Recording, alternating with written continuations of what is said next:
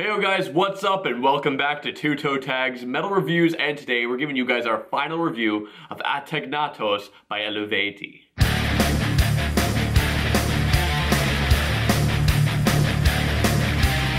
So after one entire week of listening to this album constantly, Vile Self, what are your thoughts?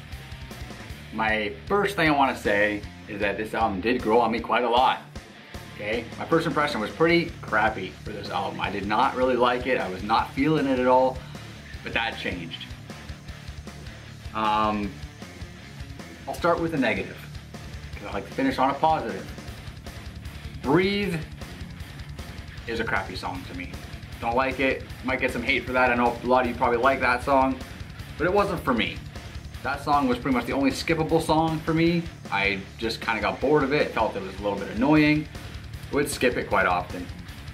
Um, the next kind of negative I have is that a lot of the songs kind of just were meh songs. Not bad, not great, but just nothing special about them. In this grouping, I would include songs like Death Walker, Blackwater Dawn, um, A Cry in the Wilderness, um, Threefold Death, uh, there's a few of them. I won't name them all, but they kind of all just don't have enough personality for them to stand out to me. On the flip side of that, um, songs like Mine is the Fury, which was my best song and my first first impression, still an awesome song. Love that song. Um, Warship is also a really, really cool song. those are the two hardest songs in the album and they, they slam, they, they go hard. But to my own surprise, the song that grew on me the most was Ambiramus. Ambiramus is an awesome song and it's just so catchy. I love the flute licks during the, during the chorus, awesome.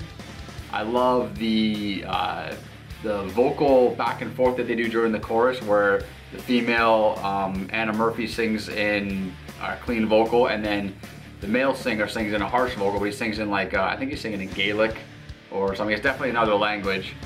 Um, but just the, the offset and the balance of that is really cool. Uh, there's this one note she hits too, I'm not exactly sure what it is, but it's in the second verse. She hits this, this really nice note know, in the middle of the verse. I really like that, it just stands out to me like, wow, that was cool.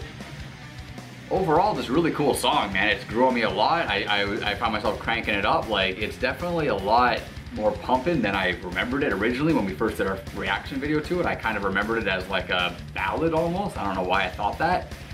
But, I mean, overall, the album, the album grew on me quite a lot over the week. Alright, well I can say the similar thing for myself as my first impression was that this album was kind of okay. I didn't really dislike it as much as you did, but I didn't really love it. But after listening to it, I was starting to enjoy it, but I wasn't really in love with it.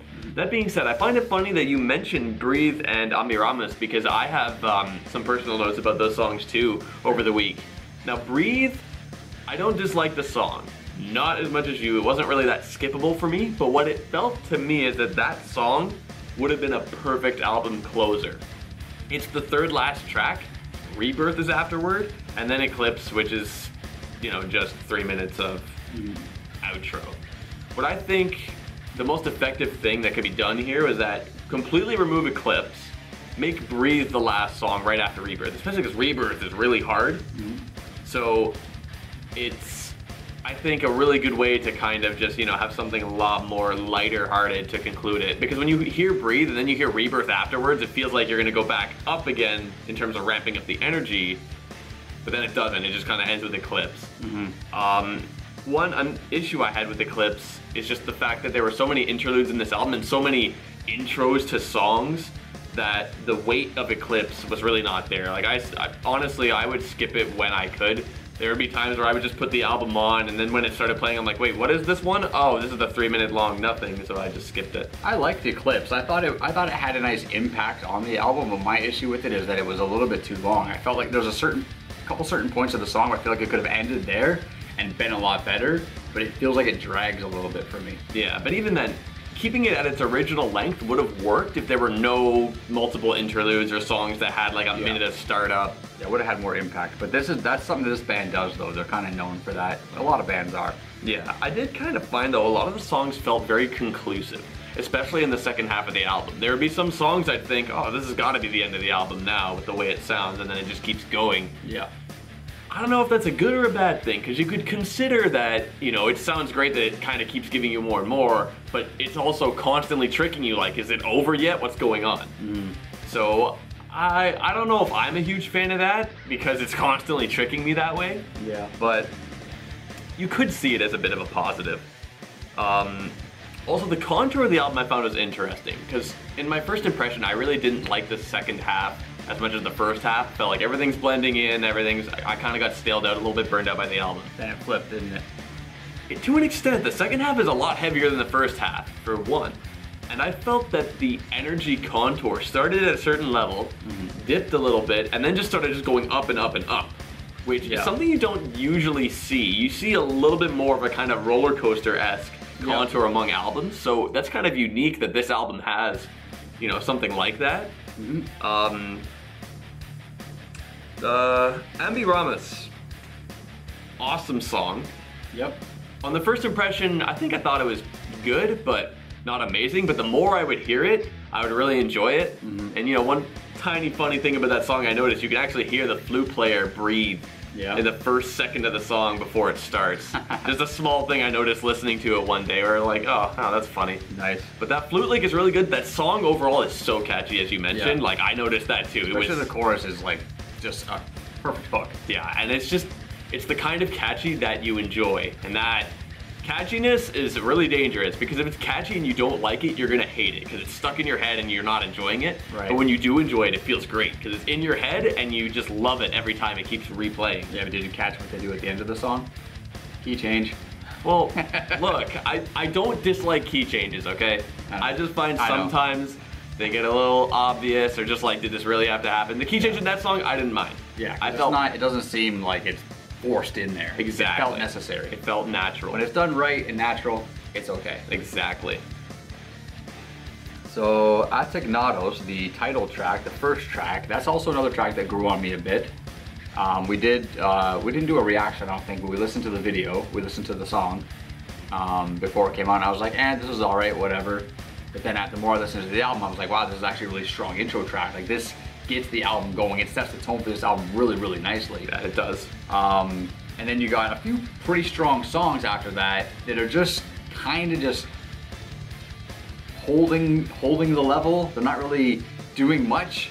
But then, like you said, around like after the silver the the, the silver and glow, that which is an interlude track, Yeah, you get Ambiramus as track eight, and then after that you get a few fighter songs, exactly. and then the album just kind of closes off with much more of a bang. Which I kind of like that more. I'd rather an album start off slow and finish hard than start off hard and finish slow. Yeah. Like, I want it to get better as it goes, not get worse as it goes. Yeah, that's that's a really especially with an album as long as this one being one hour long, you really don't want it to tail off and go down.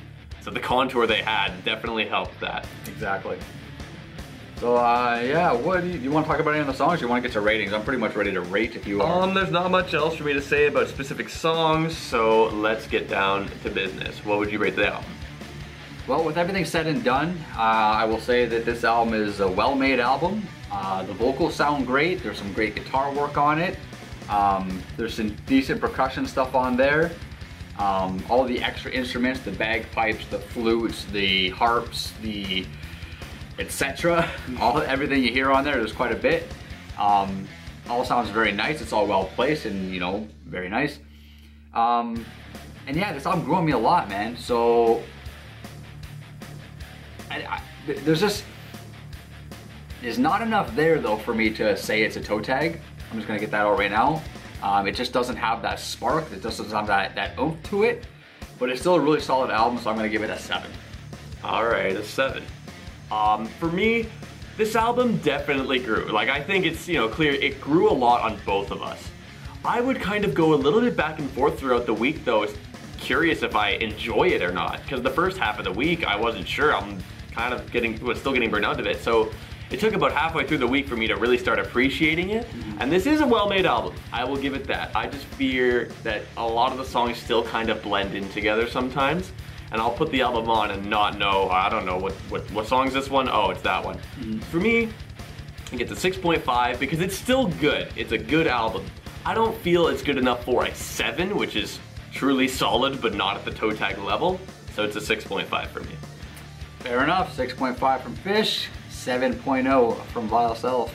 That's it for this video, guys. So be sure to leave your comments below and let us know what you guys think. If you guys agree with us or don't agree with us, let us know. Click like on the like button, thumb thing. Subscribe if you guys are new to the channel. I'm Vile Self. I'm TV Fish. And We'll see you guys very soon on the next one. Later.